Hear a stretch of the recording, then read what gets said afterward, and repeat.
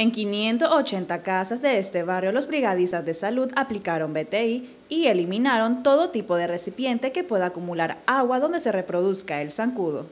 Es importante también eh, que nosotros como pobladores permitamos de que nos apliquen el BTI en las pilas, en los barriles, en aquellos depósitos donde podemos almacenar agua, ¿verdad?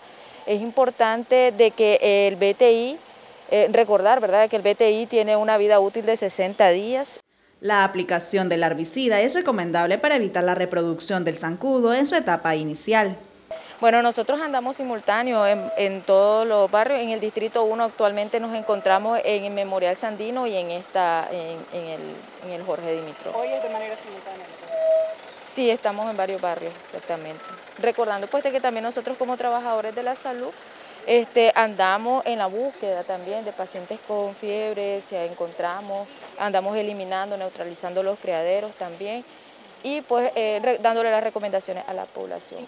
Médicos insisten en permitir la entrada a los trabajadores de la salud para erradicar el zancudo transmisor que provoca malestares en los nicaragüenses. Para TV Noticias, Sinaí Espinosa.